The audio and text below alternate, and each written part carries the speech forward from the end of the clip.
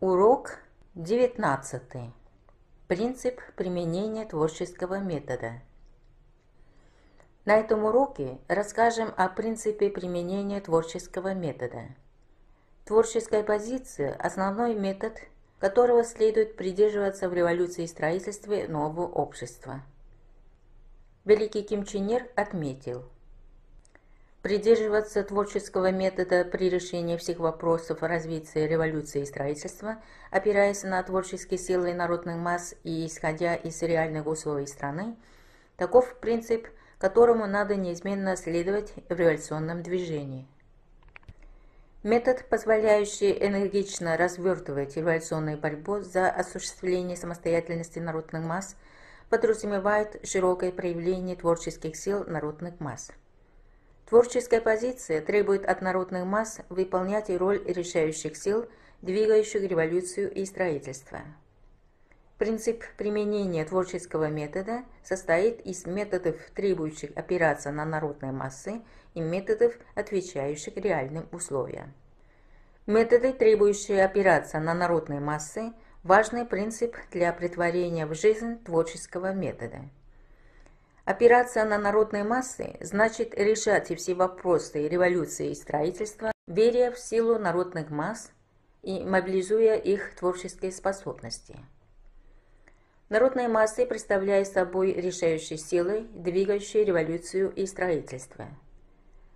Так как они являются хозяевами революции и строительства и обладают неиссякаемой творческой силой, только при опоре на них можно успешно решать любые трудные вопросы и энергично форсировать революцию и строительство. Чтобы одержать победу в революционном движении, надо верить в народ, учиться у него, опираться на него и мобилизовать его. Чтобы успешно вести революцию и строительство, опираясь на народные массы, надо разработать верную линию и политику, выражающие требования и стремления масс и превратить их в дело самих масс. Народные массы лучше, чем кто-либо другой, знают действительность, имеют богатый опыт. Отражая и делая всеобщим достоянием мнения и требования широких народных масс, можно разработать правильную линию и курс, отвечающий стремлениям и интересам народа, и, овладев сердцами людей, вдохновить их на борьбу.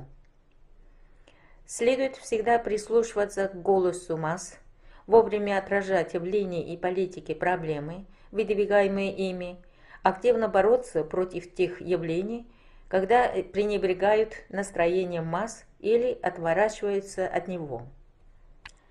Кроме того, нужно разработать политику, отражающую волю и стремления народных масс, довести ее до сознания людей и сделать достоянием самих масс. Чтобы вести революцию и строительство, опираясь на народные массы, необходимо сплотить их в одну политическую силу. Сила масс в их сплоченности. Когда массы объединятся в единый кулак, они проявят поистине колоссальную силу как в революционной борьбе, так и в строительстве. Во имя крепкого сплочения народных масс необходимо правильно сочетать классовую линию с линией масс. Твердо отстаивая классовые принципы и правильно осуществляя линию масс, можно последовательно изолировать враждебные элементы, укреплять классовые позиции, воспитывать, перевоспитывать и сплачивать широкие народные массы и мобилизовать их высокую творческую активность на решение задач революции и строительства. Чтобы вести революцию и строительство, опираясь на народные массы, необходимо бороться с любыми разновидностями старого, со всем, что мешает прогрессу. Особенно важно настойчиво бороться против пассивности, консерватизма и пораженчества. Только в этом случае можно полностью реализовать творческие силы народных масс, вызвать непрерывный подъем и прогресс в революции и строительстве. Чтобы вести революцию и строительство, опираясь на народные массы, надо развернуть широкое движение масс. Можно успешно решить любую трудную проблему, если вести борьбу против того, что ставит палки в колеса поступательному движению масс, выявлять их высокую сознательность и творческую инициативу, организовывать и непрерывно развивать массовую борьбу. В революции и строительстве, ведущихся при опоре на народные массы, важное значение имеет разработка революционных методов работы. Даже выбрав правильную линию и верный курс, мы не сможем разумно организовать и мобилизовать массы на борьбу за их осуществление, будем не в состоянии успешно вести революцию и строительство, не научившись работать революционными методами.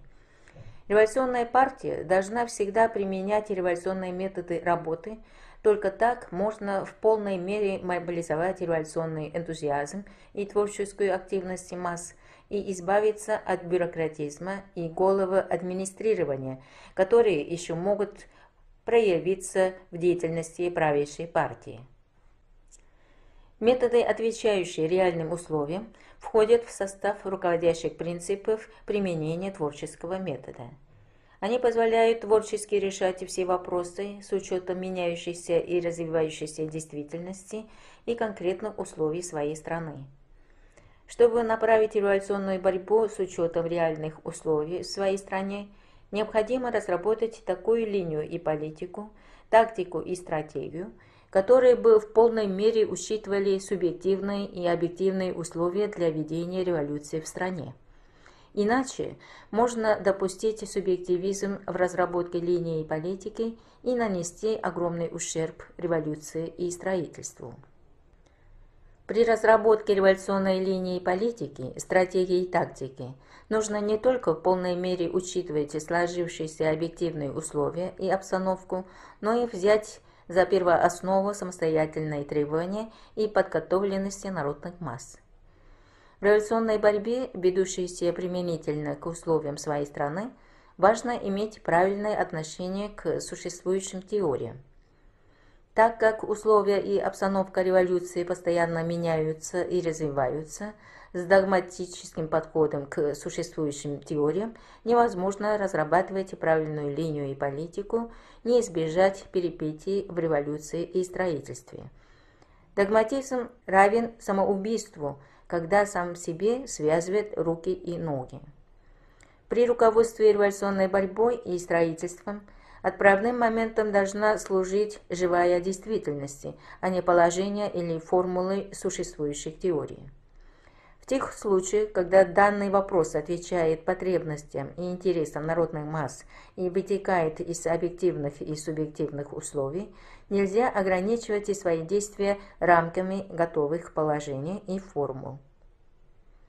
Для ведения революционной борьбы применительно к условиям своей страны – нужно настойчиво изыскивать новые принципы и пути осуществления революции и строительства, отвечающие историческим условиям времени и конкретной обстановке, сложившейся в стране.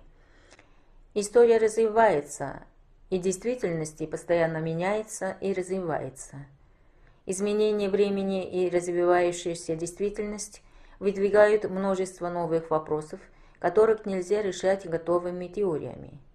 Поэтому только путем активного поиска принципов и путей революции, соответствующих новым социально-историческим условиям и конкретным условиям страны, можно вести революционную борьбу в соответствии с требованием развивающегося времени и условиями данной страны. Чтобы вести революционную борьбу применительно к условиям своей страны, надо иметь критическое творческое отношение к опыту других стран. Опыт других стран всегда отражает их социально-исторические условия и национальную специфику. В нем имеется необходимое и полезное для своей страны, есть и ненужное, вредное. Кое-что отвечает и условиям, а кое-что нет. Поэтому из опыта других стран надо переменять полезное, а ненужное следует отбросить. И при заимствовании положительного опыта других стран – следует не копировать его целиком, а учитывать конкретные условия своей страны. Если копировать чужое не слепо, а применить его по своему образцу, то оно станет своим. До сих пор мы рассказали о принципе применения творческого метода. На следующем уроке расскажем о принципе главное внимание уделять идейности.